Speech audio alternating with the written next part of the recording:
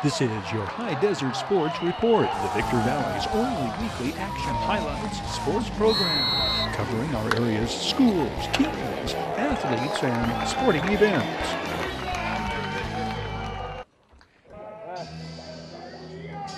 Avery Brandon rings up his second save in his team's third win, getting the last four outs against Bakersfield in the Yardbirds' 6 3 victory over the Train Robbers in High Desert's 2018 home opener. Avery Brandon induces former Yardbird Shane Sharkey to ground out to third baseman Kent Blackstone for the final out. Two saves, two nights in a row, Avery? Yeah, uh, a night in between, but it's a lot of fun, man. Kind of defines your role. What's it like to be back? Uh, man, it's a great feeling to have the fans behind you and uh, be able to go out and do what I love, man. That's all I care about.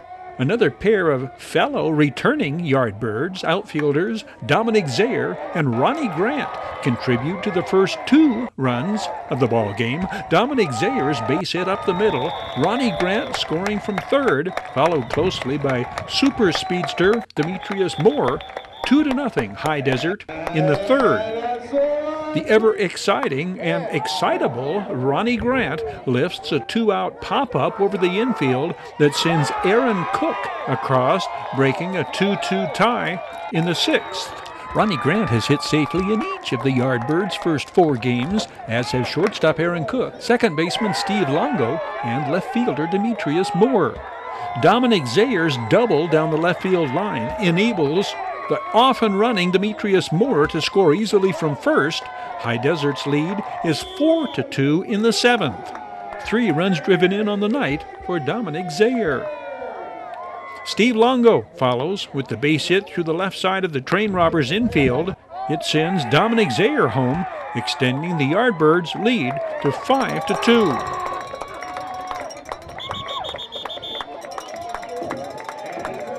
Demetrius Moore drives in Jake Marshall from second, bouncing the ball off the bounce realty sign in deep center field for an insurance run in the bottom of the eighth, extending the Yardbirds' lead to three, six to three. One of four Demetrius Moore base hits on the night. The victory is the third in a row for High Desert after the Yardbirds dropped their season opener at California City. Jordan Norton is the Game 4 starter for Sip Garza's Yardbirds. Two of the Seymour, Tennessee second year Yardbirds' five strikeouts come in the first inning. Jordan Norton is 24. He pitched at Marysville University in Tennessee and is now the pitching coach for his alma mater. No strikeout this night more rewarding to Yardbirds fans than when Jordan Norton rings up former Yardbird Shane Sharkey, the designated beer batter of the game. Beer at half price for 15 minutes upon getting Shane Sharkey swinging in the fourth. The Yardbirds' offense begins to click in the third, ignited by the bottom of the batting order. Ronnie Grant has walked. Jordan Norton bunts Ronnie Grant to second for the first out of the inning. Leadoff hitter Demetrius Moore's high chopper on a 3 and 1 pitch. Shortstop Steve Pasquale has to hurry to get Demetrius Moore. First baseman Nick Vielwald comes off the bag and misses the tag. This Video Sports camera angle clearly shows Demetrius Moore evades the tag, and it is an easy call to make for umpire Keith Sabo from his vantage point. Outstanding camera work, RTTK. Runners at the corners. Demetrius Moore steals second on the next pitch. The Homestead, Florida 24 year old already has seven stolen bases, tops in the Pecos League. Dominic Zayer tees off on Train Robbers starter and former Yardbird Zach Kammerman, sending the base hit back up the middle. Ronnie Grant scores, then Demetrius Moore close behind. First two RBIs on the night for second year Yardbird Dominic Zayer, who doubles in a third run driven in in the seventh. In the fourth, switch hitting shortstop Aaron Cook beats out the infield hit, the grounder to train robbers counterpart Steve Pasquale. But Aaron Cook is stranded. Aaron Cook, Pecos League rookie from yeah, Denver, of four still. 2 nothing Yardbirds. Jordan Norton strikes out Bakersfield counterpart Zach Kammerman for a second time for the first out in the fifth.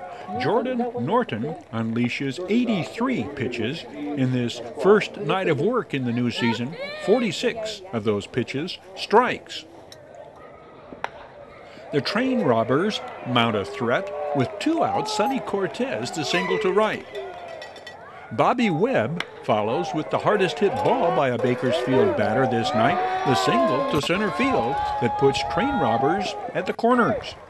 This brings out skipper Sip Garza, the youthful Yardbirds manager. Sip Garza is 28. He pitched in the Pecos League with Salinas in 2016 and appeared in four games last year as player manager of the California City Whiptails. Catcher Jake Marshall saves a run, blocking the pitch in the dirt. First of a number of run saving defensive efforts by the Arlington, Virginia rookie you'll see this night. Jordan Norton and the Yardbirds escape the inning First baseman Shane Brown fields the hard hit ground ball off the bat of Toby Marino, stranding the pair of train robbers. And at the midway point of the contest, High Desert continues to hold a 2 0 lead.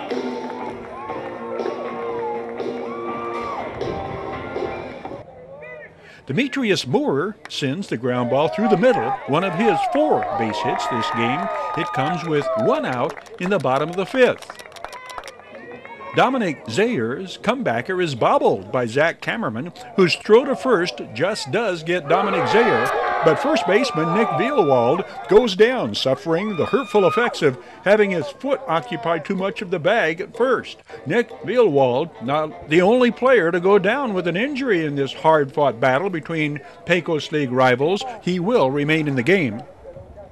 Zach Kammerman and the train robbers strand Demetrius Moore at third when Shane Brown pops up to former Yardbirds teammate Shane Sharkey at third. Shane Sharkey, Zach Kammerman, later Jonathan Fleckenstein, three former Yardbirds seeing action against High Desert this game. Six ex Yardbirds are on the Bakersfield roster. Bakersfield goes right back at it against Jordan Norton in the sixth. Sip Garza revisits the mound when the train robbers load the bases with nobody out. Sip Garza is not actually disclosing his bullpen rotation with this longtime video journalist, although he appears to be explaining his strategy to this sportscaster. Catcher Jake Marshall, again, saving a run, blocking the pitch in the dirt. Tough night for Bakersfield first baseman Nick Vielwald, who goes down a second time, fouling this one off that very sensitive area halfway between the belt buckle and the knees.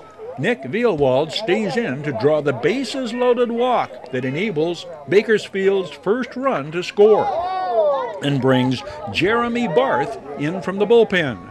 The 6'4 Jeremy Barth played at Palo Verdes, El Camino College, and Biola University. Jeremy Barth was a power hitter not a power pitcher in high school and college, 302 hitter his junior year at Biola, then team leader in triples his senior year. This is his rookie season in the Pecos League. His debut definitely baptism under fire, bases loaded, nobody out, tying run at third. Jeremy Barth strikes out Zach Kammerman for the first out of the inning. Then retires leadoff hitter Steve Pasquale on the pop up to Steve Longo at second before walking Sonny Cortez, forcing in the tying run. The train robbers have stolen High Desert's lead. Bakersfield ties the score without the benefit of a base hit. Jeremy Barth minimizes further damage, getting Bobby Webb to ground out to Steve Longo to end the inning. Both runs charged to Jordan Norton. We go to the bottom of the sixth, a brand new ball game.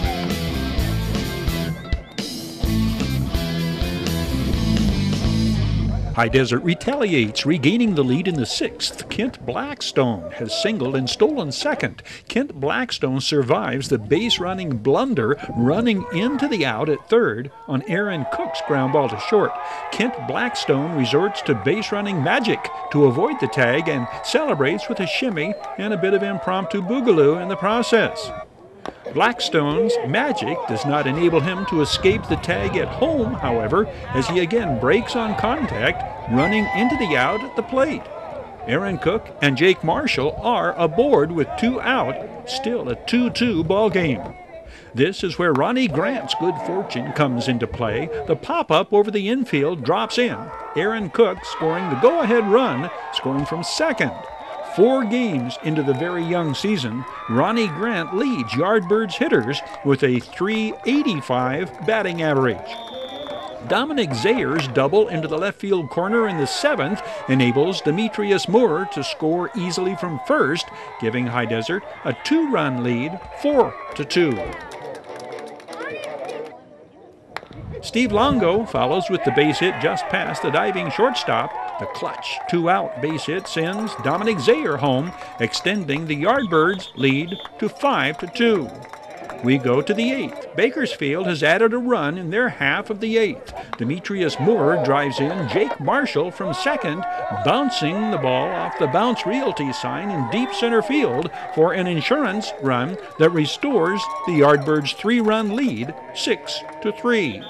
Stage set for Avery Brandon's heroics. Avery Brandon registered a save in High Desert's first win two nights earlier in California City. Fitting finale in that it is Shane Sharkey making the final out. Save number two in two opportunities, closing out the 6 3 home opener triumph. Uh, man, it's a great feeling to have the fans behind you and uh, be able to go out and do what I love, man. That's all I care about. Keep doing it. Congratulations. See you next time out. Thank you. Nice job. Your High Desert Sports Report is brought to you by Down Home Grill in Victorville on the corner of Bear Valley Road and Ridgecrest Drive. The world class auctioneers at I 15 Auctions. Bid fast, bid last. I 15 Auctions. Midway Home Solutions in Victorville, providing highest quality home appliances at discount prices for six decades. And Ewan Zach Law Firm, trial lawyers for serious problems and by the Community Table Restaurant in the Holiday Inn in Victorville, supporting high desert teams, athletes, and sports programs. The obvious disappointment of Oak Hill's extra inning playoff loss to Hemet overshadows outstanding individual performances at the plate by these Bulldogs underclassmen who offer promise of Oak being serious contenders for a third straight MRL championship season in 2019. Juniors Brandon Bullock and Zach Becker go a combined 7 for 10 in this game and 12 for 17 in the postseason eight of Oak Hill's 11 hits by underclassmen in the 4 3 setback to Hemet. John Bike starts for Oak Hills, the third start of the season for the senior southpaw who was plagued by arm problems early in the season. He had been the winner in relief in the first round win over Cerritos. Typical wind blown afternoon in May at the Bulldogs compound in Hesperia. The visiting Bulldogs push across an unearned run in the first en route to a 3 to nothing lead after hitting in the third. John Bike goes on to strike out two in his final performance in an Oak Hills uniform. John Bike bound for NCAA Division III La Verne University, where he will play next for those Leopards. Zach Becker gets the first Oak Hills base hit, the single up the middle with two out in the first. Zach Becker will go four for five this game, giving him seven hits in nine at bats in postseason play. Oak Hills places Brandon Bullock in scoring position, moving him to third on Steve Rubio's sac fly in the second. Brandon Bullock had singled, first hit of a three for five day for the junior outfielder, but he is stranded. Bottom of the third, Freddie Castro blisters the line drive past the diving center fielder. Freddie Castro, 292 hitting Oak Hills senior. Oak Hills, the top hitting team in the Mojave River League, a 364 team batting average. Julian Macias bunts Freddie Castro into scoring position. The speedy Julian Macias called out on a very close play at first. Freddie Castro is able to scamper to third on the pop up down the right field line that drops in off the bat of Zach Becker. John Bike, who had walked, advancing to second. Oak Hill's first run comes as a gift. Hemet's catcher frames the called strike three for the second out, but the catcher thinks it is the third out of the inning and rolls the ball back to the mound. Freddie Castro races home, and Oak Hills has cut the Hemet lead to three to one. Brandon Bullock's two out pop up down the right field line drops in. John Bike scores, followed by Zach Becker. Brandon Bullock's two run double ties the game at three, end of three. Michael Downs has come on to replace John Bike on the mound. Like John Bike, Mike Downs, a La Verne University commit.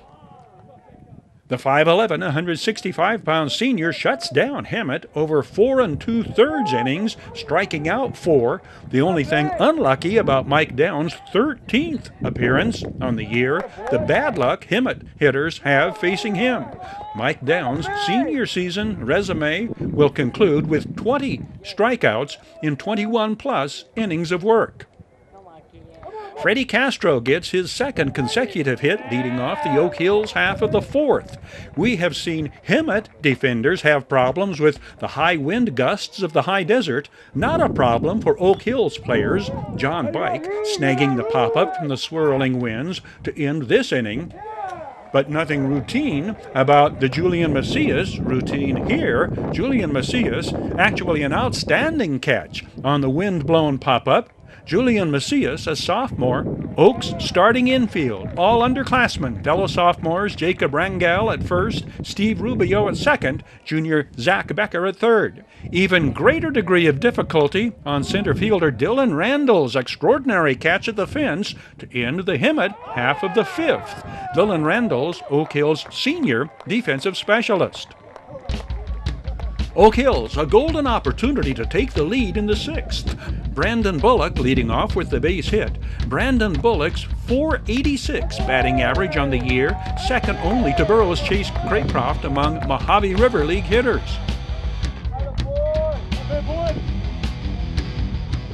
Brandon Bullock just does beat the throw to second on the Jacob Rangel bunt that puts runners at second and first with nobody out. Jacob Rangel, the versatile Oak Hills sophomore, a 358 hitter on the year. The small ball plan of attack continues. Steve Rubio's perfectly placed bunt results in a base hit for the sophomore second baseman. It loads the bases with nobody out. Hemet gets the first out of the inning on the comebacker, expertly handled by pitcher Steve Wright to just get the force at home back to back strikeouts of Oaks number nine and leadoff hitters in the threat and the inning. Hemet mounts a threat in the seventh, two out double to straightaway center field off the bat of two hole hitter Joel Mesa. It will be Joel Mesa who will drive in the game winning run in the ninth. Mike Downs works himself out of this threat, inducing the top Hemet hitter to pop up to Jacob Rangel, who has moved to center field to end Hemet's half of the seventh. Oak Hills right back on the attack in the bottom of the seventh. John Bikes, hard hit ground ball up the middle, misplayed.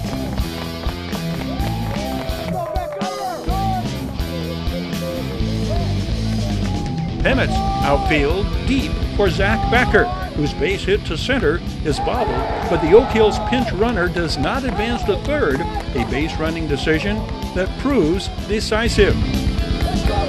Oak Hills RBI leader Kian Costigan at the plate, nobody out. When Kian Costigan squares to bunt and takes the pitch, the pinch runner strays too far off second and is called out on another very close play on the bases. Base running ever number two in this inning. The third comes when Oak's runner on first is picked off for out number two. Hemet then gets the strikeout to send the game into extra innings. Julian Macias comes on for Oak Hills in the eighth. He sets the bottom of the Hemet lineup up and down in order. We go to the game deciding at bat in the ninth. The two out drive over the head of the Oak Hills center fielder sends in the go ahead run, but Oak Hills comes right back with a vengeance. Julian Macias, leadoff single, drops over the infield and puts the tying run on in the bottom of the ninth.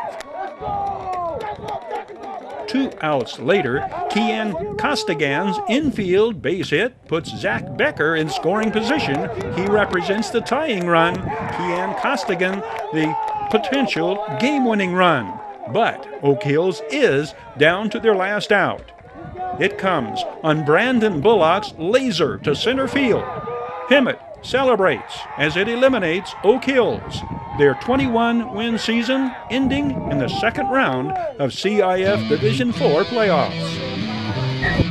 Your High Desert Sports Report is brought to you by Down Home Grill in Victorville on the corner of Bear Valley Road and Ridgecrest Drive.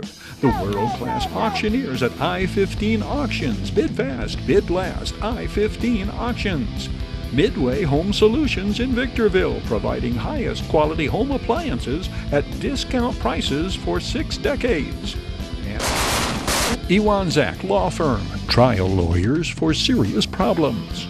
And by the Community Table Restaurant in the Holiday Inn in Victorville, supporting high desert teams, athletes, and sports programs. Uh, I'm Natalie Leos. I am actually um, a drum major for the band. I am in the Great Academy at Granite Hills. My name is Jenna Shaddles. I'm part of the Great Academy here at Granite Hills High School. I have so many opportunities with the Great Academy because we have uh, Pro Tools, we're getting Adobe Suites, and Pro Tools is uh, basically our studio professional recording equipment. It's what the top artists nowadays use, makes it super easy, you can manipulate sounds, and I've already worked with it so many times on multiple occasions, and it's one of my favorite pastimes. Is you know we just sit there, and it allows me to turn some of my dreams of like having this because it's it's career technical education. We have this new recording studio, and so with the recording studio, we're able to record our vocals and people playing instruments and put them together, and then it's the stuff that like the professional singers nowadays use. And so then we're able to like change our vocals and like make it higher pitch or add echoes to it. The GREAT stands for obviously Granite Recording and Entertainment Arts Training. Uh, the instrumental portion of it is just to supplement our other four components. It, there really is four components to the Great Academy. We're unveiling the first two here in this next year, and we'll be subsequently unveiling the next two components over the subsequent years, and that will be uh, drama and then dance. The thing that, um, that we found that we didn't necessarily think was lacking, but that we could better service our students was to offer them um, a connection with what they're learning in our programs with what they can actually take with them into the job market. It's, it's career technical education, so it's helping me be ready for the career that I want because I want to go into music production and it's making my dreams a reality. Here at Granite Hills, we have four great choirs led by our amazing uh, choir teacher, Mr. Churchill. He has Serenade and Bravo, which aren't the audition choirs, but they're just as amazing. This year they went to Knott's Berry Farm and competed, and Serenade, the all girls choir, they got second place, and Bravo, they got first place, and I'm so proud of them. They're so great this year. And then he has two varsity choirs they have to audition for and it's Encore, his show choir, and Chambers, his more um, typical type of choir you'd expect him to have or expect a choir to be. And so this year we went to San Francisco for a tour and it was so fun. It was my first time going and I absolutely loved it. I love spending time with all my friends and for four whole days and not going to school, but and so it was great. Um, Encore got silver first place, and I believe Chambers got silver second place, and it was just amazing overall. Well, something that um, we did do was that we went to Disneyland, and you know um, we were we went to Forum Festival, and we got a gold rating, which basically means we are top 10% in the nation. Yeah.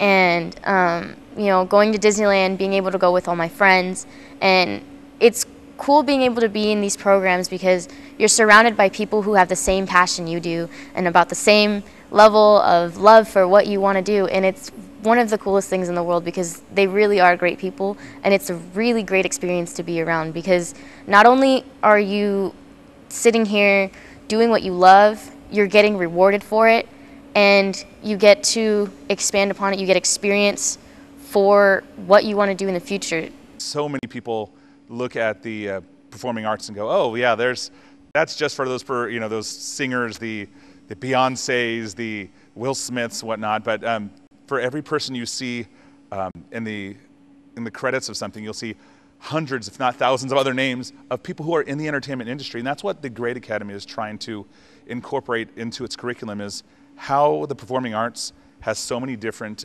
aspects about it. Um, we're going to be teaching entrepreneurship.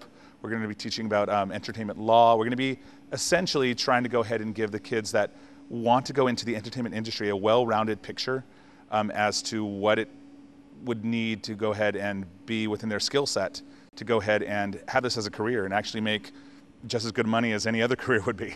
Um, the instrumental component is just to augment those other three. Uh, we will work with the dance department to provide music for them. We'll work with the drama department to provide uh, music for their shows. But more than anything, it's also uh, to record our students. We're working here on trying to uh, give an opportunity to our students and a space for them to explore their creativity and create music.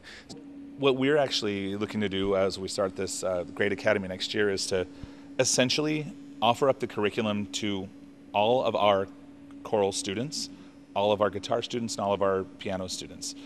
The those are our three CTE classes. So the recording part is we have a full functional, fully functional um, professional recording studio with uh, Pro Tools HD. We use industry standard equipment, um, universal audio, audio interfaces.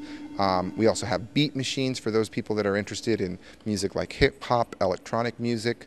Um, we have uh, two rock bands, uh, uh, all female rock band and a mixed uh, group rock band. Um, and we also have various different singer-songwriters and uh, who come in and record original music as well as uh, doing covers and um, writing lyrics for hip hop. Something that we get to do with Adobe Suites next year because we're gonna get like the camera equipment and like professional cameras and stuff. Something that we get to do is um, we get to make career portfolios. Wow. We get to do marketing and we get to do tutorials for incoming freshmen, whoever like they don't know what they're doing. We get to help them out with that. I like most how everyone who's in it loves what they're doing and they want to be a part of it because it's such a great family to be a part of and so it's changed my life really uh, honestly working with mr churchill is uh, intimidating because he is such a venerable director and he just does such a fantastic job it's honestly my um, honor to be able to call him my colleague and be able to work with him. But I think one of the things that I bring is uh, is the technological component. Um, I, I, have a background in audio recording and um, and computers.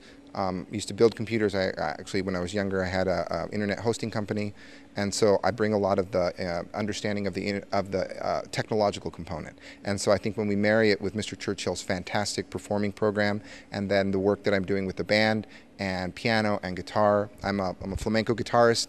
Um, as well, so I play flamenco guitar, but I also play uh, various different instruments. I play piano, I sing, um, and so I can bring that, but what uh, separates me is that I have I bring that technological component that I can that's so critical to CTE. And CTE again is career technical education. This are, we're a, we're a career technical pathway that allows um, students the opportunity to enter into career right out of high school. And what we're looking to do is um, every kid, regardless of whether or not they're going to go through the academy, is going to get this introductory level knowledge of this.